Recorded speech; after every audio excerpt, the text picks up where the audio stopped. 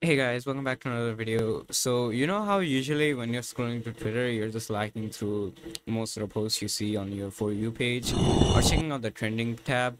Well, sometimes you want to check your DMs, right? If you're popular, you probably get DMs from all the people. And sometimes there's this message request that's pending, and usually it's a scam like one of these. As you can see, it's just a scam where it's talking about a part time job that pays like 10 to like 100 to 500 dollars ish and you need PayPal and line for that, but whatever. But has any one of you thought maybe one of this is real? Perhaps you should check it out, you know? Something like that. I'm pretty sure some of you have, but most of you didn't let your intrusive thoughts in and actually accept one of the requests. Well, I have. Not this one, though. This one is going into the bin. You see, I've accepted a request Oh from Elon God. Musk himself. As you can see, Elon Musk Reeves. Clearly, Elon Musk, you know? If I go over to his profile, as you can see, it's very off. Right, never mind, it's not the real Elon. Well, anyways, this is, this is what went down in a couple of days.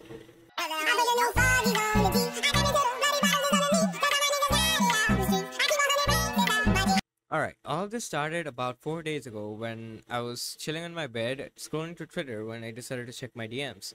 Even though I didn't really have any DMs, I just wanted to check.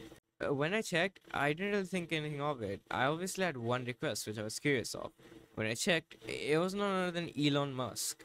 And obviously, since I had more than three brain cells, I knew that this was an Elon Musk. But I still wanted to play along with his gig anyways, so I accepted the request and started chatting with him. After I accepted his request, I greeted him, and he greeted me back. And he said something along the lines of, I messaged you in private, and I hope you keep it that way. I don't usually do this, but I suspect you're a nice person. Well, that's a great start.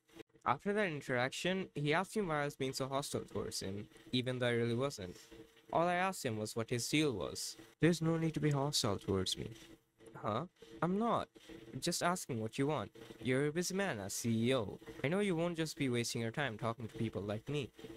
To be honest, at first it did sound kind of genuine. It did sound like it was him. He was being pretty official and there was not many mistakes in his dialogue.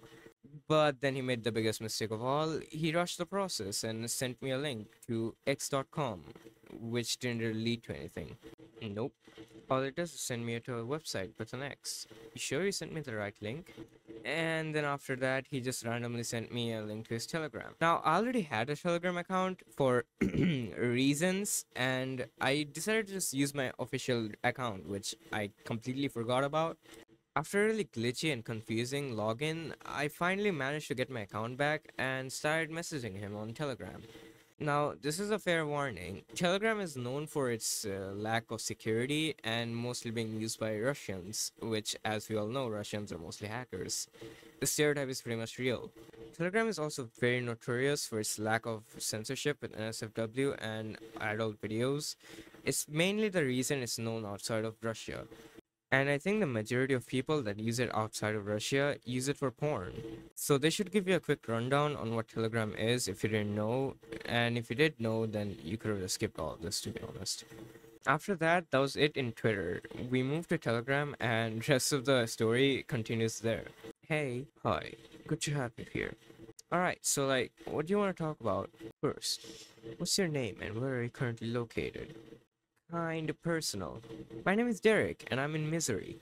Now, if you've known me for at least like two minutes, you know that I'm not Derek, and I'm not from Missouri. I'm Doku, and I'm from Misery. Oh god, that was such a bad pun. And then after that, for some reason, he just ghosted me till I messaged him again. Hey, homie, I thought we were talking business. Where you at? I'm at Texas at the moment. So tell me, how long have you followed me and my works? Since 2019, since you began to meet. I see. And if I may ask, have do you own any inve- uh, wait a minute, what? have do you own any investments or affiliations with any of my companies? Nope. Though I do like cars, especially fast cars. I haven't been able to buy a car. Tesla Roadster is one of my favorites. The Tesla Roadster is an incredible car. I'm sure you would love it when you get one. Yeah, would love that. Alright, man, what do you want? I mean, you sure have a reason to talk to me, right? Don't ghost me. Thought we had something going on. I'm looking for work. Wouldn't mind working. Ah, sorry. I've been quite busy. Well, if you want, I can grant you access to a Roadster at a discount of 40%. Ah, that's understandable. 40%, huh? Well, how much will that cost me then? The Tesla Roadster originally cost 200,000, but after a 40% discount is implied, that would drop to around 120,000. Oh, that's sweet. But to be fair, I'd rather buy it full price rather than have a discount. It would feel more fulfilling. It would be nice if you would allow me to work for you. Well, as you can see, I'm really trying to push him towards trying to hire me. It would be interesting to see if he would actually hire me or not, or like try to fish me into giving all my details. But I also wanted to test out if he would actually be Elon Musk. Since he's a rich multi-billionaire, he wouldn't let go of hiring someone for a low price. I could work for him for free for the first few weeks before he could actually hire me. I could help him arrange worksheets on Google, or I could give him new ideas. It was perfect for someone like him. But even though it was a long shot, he didn't really quite understand what I was saying. He just continued to try sell me his Tesla Roadster for 120k, which is also pretty pricey considering that I live in a third world country and having $120,000 could go for more than just buying a car. Well, it's up to you if you'd like to reject the offer and purchase it at full price. Uh, well, put it like that. Yes, I'd like to purchase it for the discount. Still costs a lot, but it's better than not owning one. And now, this is where it gets really interesting. This is where he's asking for all the details that could pretty much locate me. And since I'm not in the location I've said before, and it's not my name, it was up to me to figure out how to make him think that this is all real.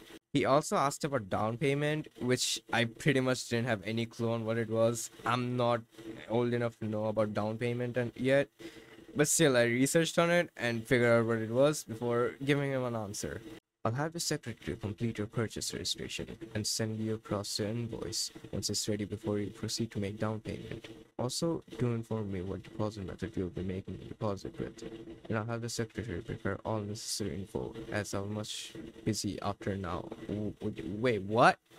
Huh? My name is Walter Hartwell White. I live at 308 Negra Arroyo Lane, Albuquerque, New Mexico, 87104. Just a quick FYI, those are completely fake addresses that I made up by using some generators and a number generator. Don't actually try to go there, you might get yourself killed. Alright, I'll cut to a more interesting part of the story because most of it is just him saying that the secretary will take care of it and me telling him I'll do wire transfer. Other than that, that's basically all he's talked about, which is the secretary will take care of it after I quote unquote placed my order, I told him that I'm also an entrepreneur and wanted to be like him.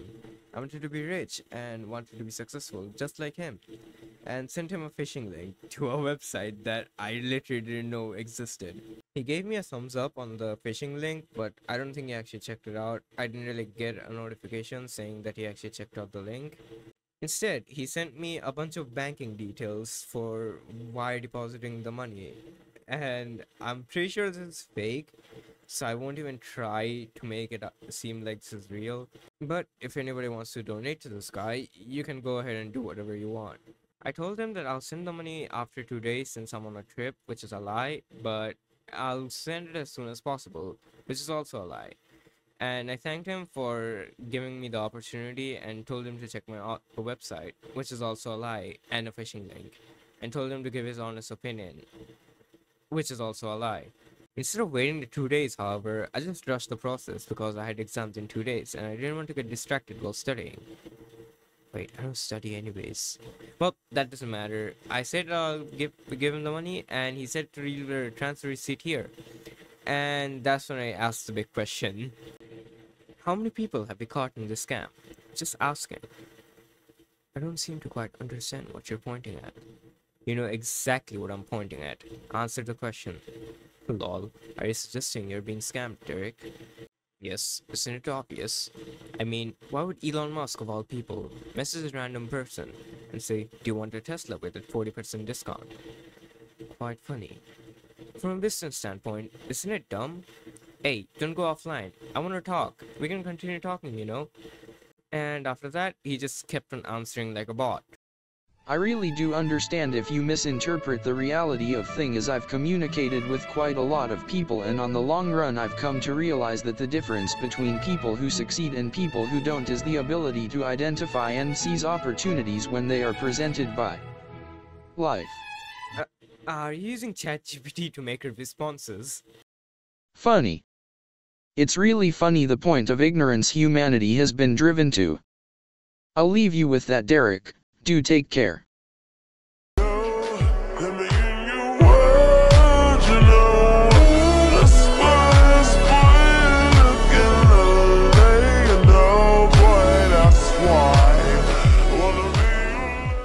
Anyways, that's the end of the video. I thought it would be silly to make a video on this weird encounter I had just before my exams. So thank you guys all for watching. Please make sure to subscribe and turn on post notification.